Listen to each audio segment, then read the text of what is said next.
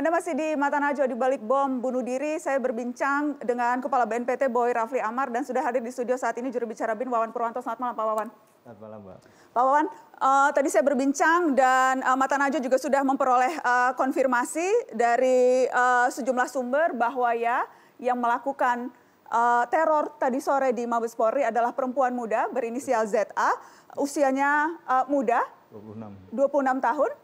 Kemudian kita juga memperoleh informasi kartu perbakin, jadi memang uh, bagian dari anggota perbakin begitu.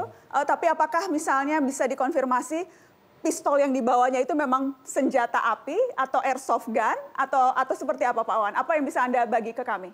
Ya sebetulnya eh, mereka itu boleh bawa senjata kalau menjadi anggota ya. Baik itu peluru tajam maupun eh, airsoft gun ataupun peluru karet itu memang diizinkan. Selama itu dia pegang kartu.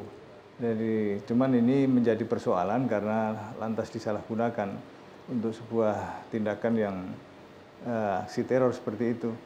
Anaknya memang masih muda, masih 26 dan tinggal di, di daerah Ciracas ya.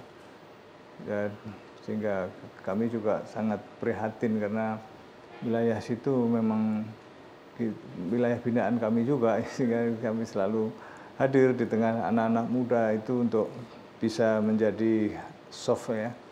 Tapi ini mengejutkan kami juga dalam kondisi seperti ini. Tapi kita sedang dalami juga mengenai eh, link up dari dia termasuk Apakah memang eh, si wanita muda inisial ZA berusia 26 tahun yang anggota perbakin ini, apakah dia memang sudah masuk radar dari aparat, masuk radar BIN atau atau ini kemunculannya tiba-tiba belum tercium sejauh ini? Jadi ini eh, bisa menjadi lone wolf ya, karena makanya nanti akan tampak setelah kita telisik lebih jauh dari em, dari ponselnya, kemudian dari keluarganya, kita juga tahu dia lima lima pers- eh, tiga bersaudara.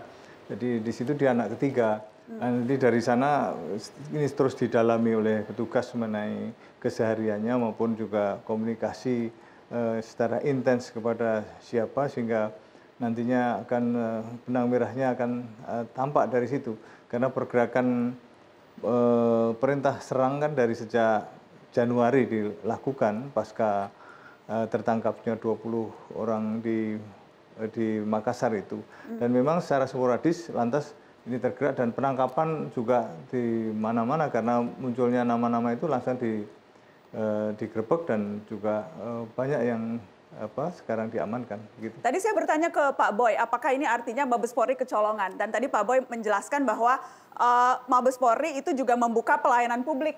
Jadi Betul. memang akses terhadap publik keluar masuk itu tidak Betul. bisa dihentikan. Mbak bisa. Tapi a- a- ini kan lagi siaga satu, Pak. Dan Meskipun ini lagi kemarin apel, kemudian eh, baru saja terjadi rentetan teror. Apakah memang tidak ada sistem yang disiapkan berbeda sehingga bisa diantisipasi kejadian seperti tadi sore? Jadi gini Mbak, untuk pelayanan publik tidak boleh terganggu dan mereka juga tidak boleh ada rasa takut, tapi kesiapsiagaan melekat. Dari senjata itu melekat. Begitu ada sesuatu sudah langsung senjata itu melekat. Makanya begitu dia masuk karena memang di situ hari-hari juga orang ada urusan surat menyurat, ada eh, perkara, ada apa laporan, ada eh, segala macam permasalahan masyarakat kan masuknya memang ke situ. Sehingga eh, mereka keluar masuk pun tidak ada masalah. Hanya begitu ada masalah, cepat tim siaga itu melekat dengan senjatanya. Sehingga ini menyangkut profesionalisme dari Polri sendiri yang notabene pelayanan tetap jalan, tapi kesiapsiagaan tetap jalan tanpa harus menimbulkan rasa takut ataupun eh, kecemasan ataupun seolah-olah terkesan negara dalam kondisi eh, genting begitu. Negara saat ini tidak dalam kondisi genting. Sekarang negara memang khusus untuk aparat diperintahkan sejak Januari, sejak ada perintah serang memang kita eh, bersiap siaga, hanya tidak menyolok di masyarakat. Sehingga kita tetap minta peningkatan capacity building maupun juga kepada objek-objek vital serta tempat-tempat ibadah eh, diperketat tanpa harus eh, kentara sekali sehingga masyarakat terganggu ke ketenangannya. Baik, saya ingin tunjukkan lagi ke pemirsa Mata Najwa informasi eksklusif yang kami peroleh identitas dari pelaku eh, yang diduga melakukan serangan ke Mabes Polri sore tadi. Informasi ini kami peroleh secara eksklusif dan kami sudah konfirmasi ke sejumlah pihak seperti juga tadi sudah disampaikan oleh uh, juru bicara BIN barusan dan sebelumnya juga oleh uh, Kepala BNPT Boy Rafli Ahmad. Uh, saya ingin tunjukkan boleh tolong dikeluarkan lagi teman-teman. Ini adalah ZA perempuan muda berusia 26 tahun yang berlokasi, yang rumahnya berlokasi di Ciracas, Jakarta Timur. Dan ia adalah uh, anggota dari Perbakin. Dan tadi informasi ditambahkan oleh Pak Wawan, yang bersangkutan tiga bersaudara dan ia adalah anak yang paling bungsu. Demikian betul, Pak Wawan? Betul. Dan uh, sepanjang pengetahuan Anda atau sepanjang informasi yang berhasil dikumpulkan, tampaknya lone wolf atau bergerak sendirian, tampaknya sejauh ini. Ya, memang ada dua orang yang yang yang bergerak, yang satu yang sempat melarikan diri sehingga ini apa masih dalam kondisi uh, di, dicari. Makanya kalau misalnya nanti jumpa konfonselnya maupun juga link up dari uh, penyelidikan di keluarga nanti akan tampak kepada siapa selama ini dia berhubungan termasuk juga di medsosnya dia berselancar di situ akan uh, tampak termasuk uh, uh, motif dari ini semua sekarang sedang di, terus ditelusuri hmm. termasuk juga uh, sampai sejauh mana ke apa, hubungan yang selama ini uh, dengan keluarga karena biasanya kalau uh, orang sudah terpapar biasanya dengan keluarga itu menjauh dan cenderung memusuhi. Nah ini nanti ini sedang didalami petugas sedang turun di sana dan Eh, menurut saya tidak terlalu lama juga akan uh, terungkap nanti akan disampaikan ke publik. Oke, baik. Saya ingin ke Pak Nur Huda. Uh, Mas Nur Huda yang saat ini berada di Singapura, peneliti terorisme Yayasan Prasasti Perdamaian. Mas Nur Huda, uh, serangan ya. di kantor polisi ini identik dengan uh, kelompok tertentukah atau ini memang modus yang biasa dilakukan kelompok teror secara umum menargetkan polisi? Ya, saya kira satu hal sebelum menjawab pertanyaan itu, ini sebenarnya semacam wake up call sejak tahun 2014 bahwa cara pandang kita terhadap isu ini itu harus bergeser dan serius sekali mengambil pakai perspektif gender. Maksudnya adalah baik itu lelaki maupun perempuan itu mengalami proses radikalisasinya berbeda dan oleh karena itu negara pun harus melihat isu ini dengan berbeda.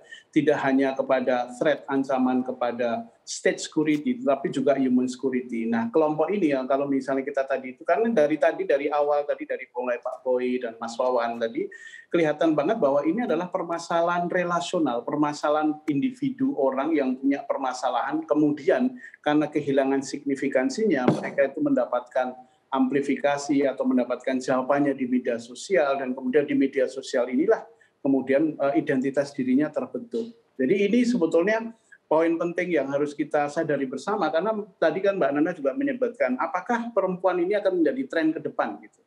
Dan ini saya kira saya bukan mau nakut-nakutin gitu ya. Kalau kalau melihat polanya itu ini the party is not over yet gitu. It's just the beginning gitu. Karena mereka itu akan selalu menginspirasi satu dengan yang lain saya cerita begini itu karena misalnya kebetulan kita di Jawa Tengah dan di di Jawa Barat itu ada melakukan pendampingan terhadap uh, kasus yang serupa yaitu dua Siska itu.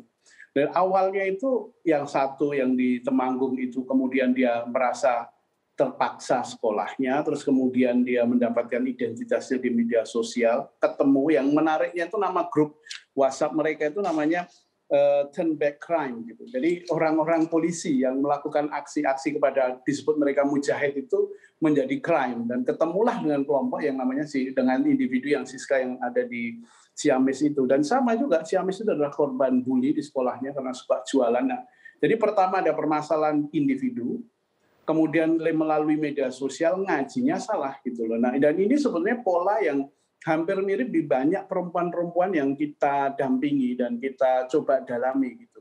Artinya mereka tuh sering kali justru menjadi korban gitu loh. Korban dari sebuah ideologi, korban dari sebuah uh, apa ya uh, proses relasi gender yang ketika di dunia nyatanya mereka kan tidak sering kali tidak mendapatkan berbagai macam alternatif. Nah kelompok ini ironisnya memberikan alternatif itu gitu Oke. Okay. Nah, apalagi nah itu itu masalahnya saya kira. Baik, kita harus break nanti kita lanjutkan karena uh, setelah ini saya ingin masuk ke apa yang terjadi di di Makassar. bom bunuh diri dan juga penangkapan dan penelusuran yang sejauh ini sudah dilakukan oleh polisi, termasuk juga upaya-upaya yang dilakukan oleh BNPT. Saya masih tersambung dengan Kepala BNPT Boy Rafli Amar. Jadi kita bahas spesifik soal itu uh, dan juga soal uh, munculnya beberapa atribut FPI yang kemudian dikait-kaitkan dengan penangkapan yang terjadi beberapa waktu belakangan ini. Apakah memang ada kaitannya? Kita bahas itu setelah pariwara.